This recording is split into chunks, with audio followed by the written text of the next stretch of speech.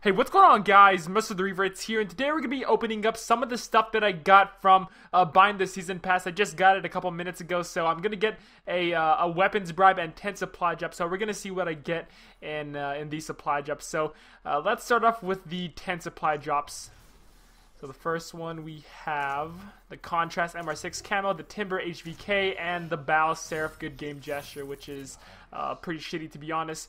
Uh, let's try another one. Let's try another one. So we're gonna get the Ice Combat Knife cam. I already have that. And I don't know about this Dredge FMJ attachment, but I don't like it. I don't use the Dredge that much, so uh, let's try another one. Um, yep, had a feeling. Two commons and one rare. Alright, maybe this one. Lucky number seven. Lucky number seven. Contrast Kuda, sweep this Reaper, and contrast Combat Knife Camo. That's awesome. So, Royal Brecci Camo, Cannibal Nomad Head, and I'm pretty sure I have all of these. Like, the the freaking uh, the, the, gestures and this hell. I have all this stuff. More than likely, I'm sure of it. Probably two commons and a rare. Nope, we got War Torn Gorgon Camo, HVK Spitfire attachment. Uh, fourth one. Counter calling card, Verde, and would you look at that? Two commons and a rare. Alright. Three more left.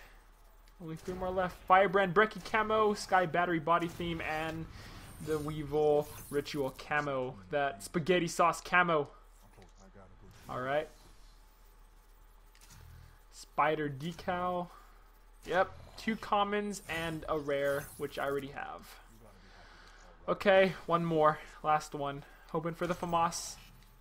Crab the Inferno. And whatever the fuck this is.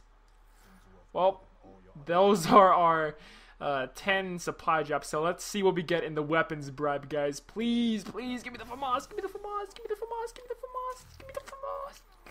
Oh! oh! Yes! I got it. I got the FAMAS was.